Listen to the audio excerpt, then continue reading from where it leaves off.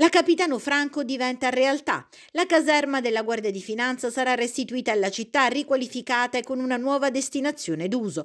Oggi la firma decisiva all'Agenzia del Demanio regionale. Quattro le amministrazioni coinvolte, il comune che diventa proprietario del bene, la Guardia di Finanza che ha ceduto parte del bene, l'Agenzia del Demanio che ha supervisionato il passaggio e l'Ufficio Infrastrutture dello Stato Maggiore dell'Esercito. Il parco ed una parte degli edifici saranno fruibili ai cittadini cittadini. Nell'altra parte della struttura sorgerà il nuovo comando provinciale della Guardia di Finanza. La firma è avvenuta a Palermo. Ha partecipato in remoto il vice ministro all'economia e alle finanze Laura Castelli, che ha dato il via al protocollo per il cambio di proprietà ed ha spossato il progetto di riqualificazione. Hanno firmato per il comune il sindaco Roberto Gambino, per la Guardia di Finanza il colonnello comandante provinciale di Caltanissetta Stefano Gesuelli, il direttore generale regionale del demanio Giuseppe Tancredi. Presenti inoltre il vice sindaco Grazia Giammusso e l'ingegnere capo del comune Giuseppe Tomasella. 4 milioni di euro di agenda urbana serviranno alla riqualificazione per creare il parco